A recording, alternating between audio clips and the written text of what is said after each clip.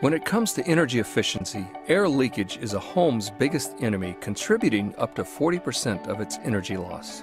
Additionally, traditional insulation materials such as fiberglass leave gaps and open air pockets that invite air movement. This can lower the effectiveness of the insulation and allow moisture infiltration. The best answer for your new home is Styrofoam brand spray polyurethane foam insulation. We use it to create a solid layer of insulation that also reduces air leakage.